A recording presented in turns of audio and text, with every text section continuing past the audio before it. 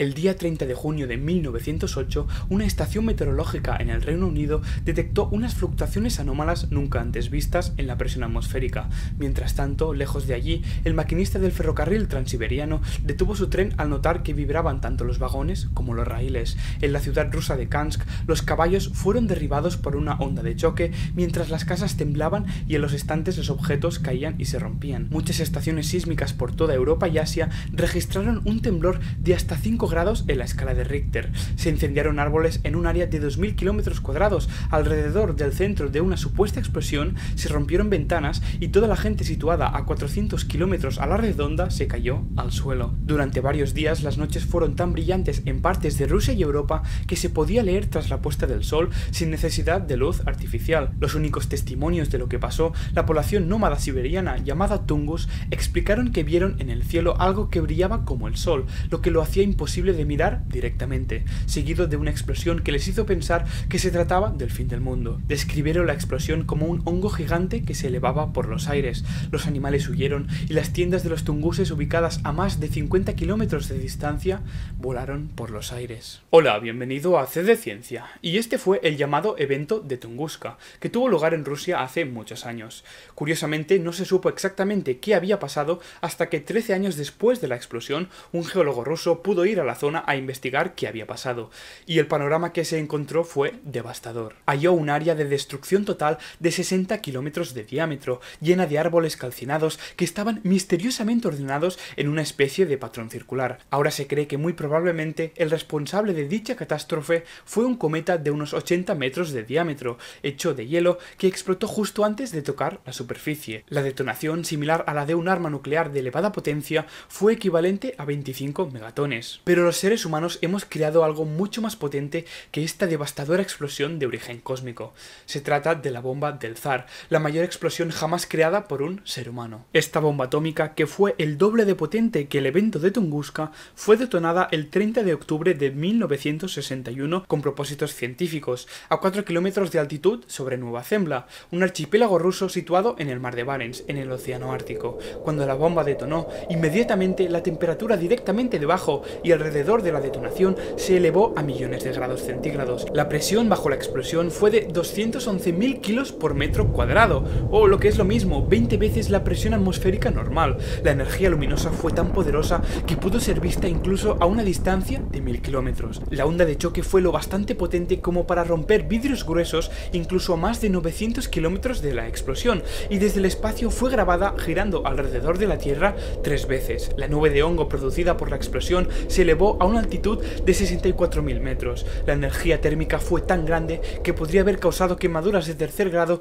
a una persona que se encontrase a 100 kilómetros de la explosión. En esta imagen comparativa de la ciudad de París, el círculo rojo representa el área que tuvo de destrucción total y la amarilla la de la bola de fuego. En esta otra puedes ver una comparación de la explosión de la bomba del zar con la bomba de Hiroshima. En el momento de la explosión, la bomba irradió un 1,38% de la potencia total irradiada por el Sol liberó 210 petajulios de energía, lo que es lo mismo que 10 veces la energía consumida por Mongolia en un año.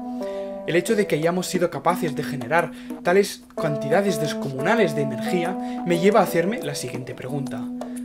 ¿Qué tan poderosos podemos llegar a ser los seres humanos? En 2012, el consumo mundial total de energía fue de 553 exajulios. Si esta cantidad de energía fuese equivalente a un glóbulo rojo, podríamos decir que el Sol produce en un año la misma cantidad de glóbulos rojos que hay en tu cuerpo. O dicho de otra forma, consumimos en un año el 0,00000000004% de la energía que el Sol produce en un.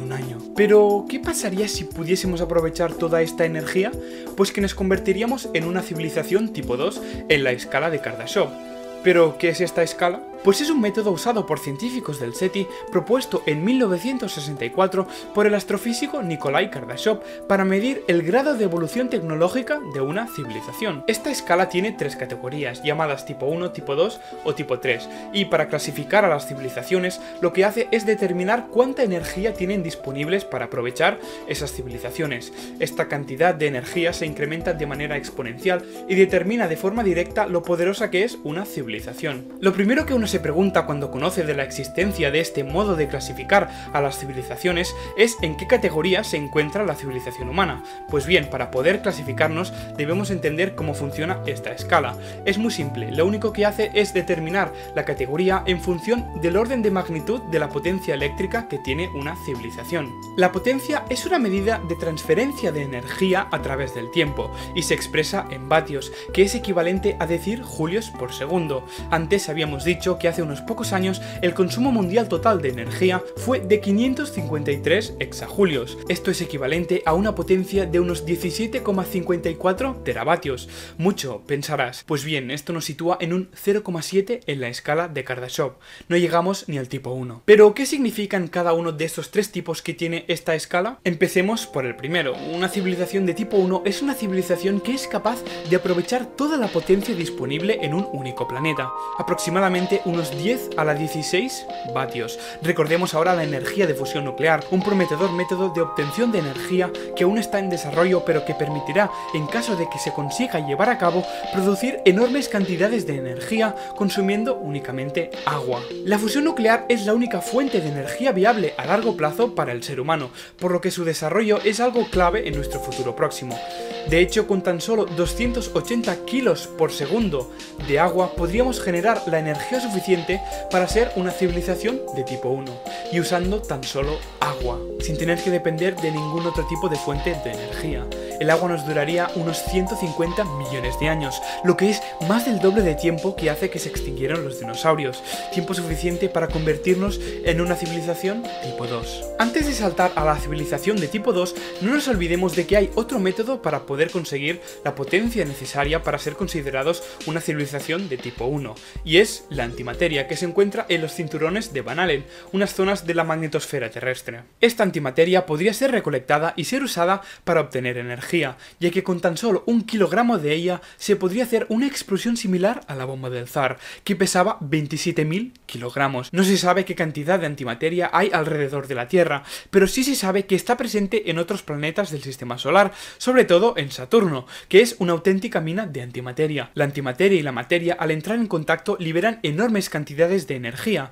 Es así como se consigue la energía a partir de esta sustancia, pero esto es a la vez el mayor problema, dado que hace que sea muy difícil su recolección, ya que al entrar en contacto con la materia, explota. Si se encontrase un modo de conseguir esta preciada sustancia, las necesidades energéticas de una civilización tipo 1 quedarían más que cubiertas. Y sin quererlo, nos hemos salido ya de la civilización de tipo 1, ya que el hecho de recolectar recursos en un planeta como Saturno, por ejemplo, implicaría que ya no lo estaríamos haciendo en nuestro planeta, por lo que se podría considerar la recolección de antimateria como un recurso intermedio entre las civilizaciones de tipo 1 y las de tipo 2. Porque el tipo 2 en la escala de Kardashev no se describe como una civilización capaz de recolectar antimateria, sino como una civilización capaz de aprovechar toda la energía producida por su estrella, o lo que es lo mismo, una civilización que tuviese en su poder unos 4 por 10 a la 26 vatios de potencia eléctrica. 4 por 10 a la 26 vatios es una ingente potencia difícilmente imaginable.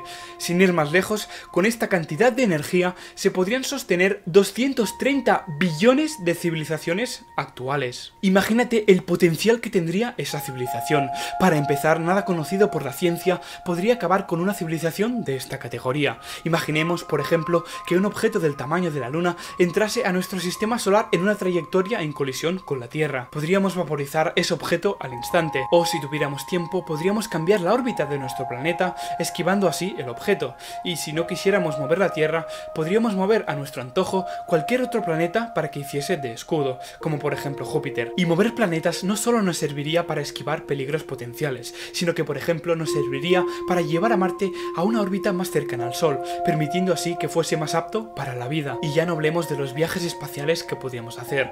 Ir a Saturno de luna de miel sería algo perfectamente asequible. Pero ¿cómo te lo haces para aprovechar toda la energía de una estrella como el Sol? Pues simplemente debes construir una esfera de Dyson. Esta no es nada más que una esfera que cubre total o parcialmente la estrella, con paneles solares en su interior para poder captar su energía. La esfera tendría un radio equivalente al de una órbita planetaria y no tendría por qué ser una esfera maciza, podría ser en forma de burbuja o enjambre. De hecho, el modelo de la esfera sería sería difícil de construir, por dos motivos principalmente, porque no se conoce ningún material lo suficientemente resistente como para evitar que la estructura colapsase por culpa de la gravedad del Sol y porque la cantidad de materiales necesarios para construirla sería muy grande. Por eso los modelos que se basan en un conjunto de colectores solares independientes son los más viables. Las esferas de Dyson son uno de los principales objetivos de aquellas personas que se dedican a buscar civilizaciones extraterrestres. Dichas esferas no dejarían escapar la luz visible, pero sin embargo sí que emitirían grandes cantidades de radiación infrarroja por el hecho de que los paneles solares se calentarían. Pero de momento no hemos encontrado nada que se les parezca, a pesar de que serían objetos bastante peculiares en el cielo por el hecho de que solo emitirían ese tipo de radiación. Quizás porque dichas civilizaciones no existen o porque su nivel de conocimiento científico les ha permitido desarrollar tecnologías de obtención de energía inimaginables para cualquier ser humano. De todos modos, nos hemos ido de una civilización capaz de controlar toda la energía de un planeta a una civilización capaz de controlar toda la energía de su estrella, lo que hace de esta civilización inmune a su destrucción. Pero, ¿qué pasa si seguimos subiendo? Pues que llegamos a una civilización de tipo 3, o lo que es lo mismo, una civilización capaz de aprovechar toda la energía disponible en una galaxia. Una especie que llegase a este grado sería conocedora de todo lo que tiene que ver con la energía, convirtiéndoles en la especie suprema de su galaxia. Los habitantes de este imperio galáctico habrían evolucionado durante miles de millones de años como especie, y si por ejemplo fuesen los humanos los que llegasen a este punto algún día, serían muy diferentes a nosotros. Muy probablemente se trataría de organismos cibernéticos, es decir, seres mitad biológicos, mitad robóticos, ya que el poder aprovechar las enormes cantidades de energía disponible sería algo que la selección natural habría favorecido. Llegados a este punto, dicha civilización habría desarrollado colonias de robots autorreplicantes capaces de colonizar los sistemas estelares para aprovechar su energía construyendo esferas de Dyson u otros sistemas de obtención de energía en cada uno, creando una dantesca red que llevaría la energía hasta el planeta o base principal. ¿De cuánta energía estaríamos hablando en este tipo de civilizaciones? Pues de una potencia de 4 por 10 a la 37 vatios. Este es un número inimaginable por cualquier ser humano.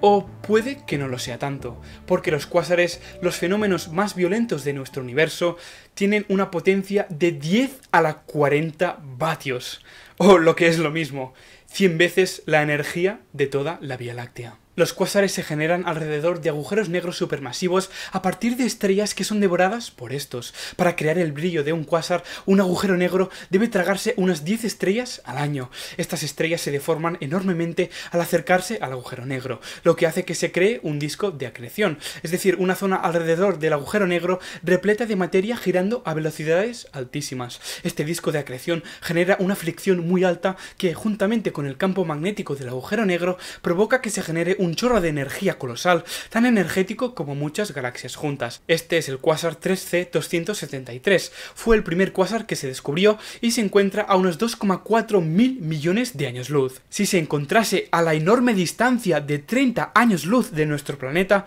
lo que es unas 7 veces la distancia entre la Tierra y Próxima Centauri, la estrella más cercana a nosotros después del Sol, sería tan brillante como este simplemente espectacular. Pero no nos vayamos de los agujeros negros supermasivos, porque se cree que las posibles civilizaciones de tipo 4 vivirían dentro de estos objetos del universo y serían capaces de controlar la energía de todo el universo.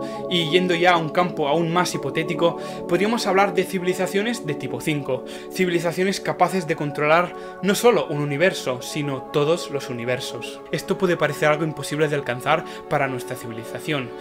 Teórico Michio Kaku sugiere que los humanos podríamos alcanzar el tipo 1 en unos 150 años, el tipo 2 en algunos cientos de años y el tipo 3 entre 100.000 a un millón de años. Pensar que los futuros humanos llegarán a aprovechar la energía de una estrella entera puede parecer algo imposible, pero no lo es, porque hay un poder que no hemos mencionado en este vídeo, que es a fin de cuentas el poder más importante, el poder que si no es considerado puede hacer de cualquier otro poder el mayor de los peligros, y ese poder es el sentido común. Los seres humanos debemos ser conscientes de que de forma paralela a nuestro desarrollo como civilización, también se irá desarrollando el poder que tendremos a nuestro abasto, un poder que de absolutamente nada nos va a servir si somos incapaces de gestionarlo. Si queremos avanzar como civilización, tenemos que preservar nuestro hogar, acabar con la guerra y seguir apoyando la investigación científica. El espacio ya es lo suficientemente hostil como para que nos estemos asesinando entre nosotros. Estamos suspendidos en el espacio, rodeados de kilómetros y kilómetros de vacío, kilómetros y kilómetros de soledad, kilómetros y kilómetros de muerte. No sabemos de nadie más en el universo. Somos un oasis de vida en medio del oscuro y mortal vacío del espacio. Nos aniquilamos como si cada ser vivo no fuese una maravilla del universo. Debemos aprender a vivir sin tener que matar. Es nuestro compromiso como humanidad que nos hacemos llamar. Muchas gracias por ver el vídeo y adiós.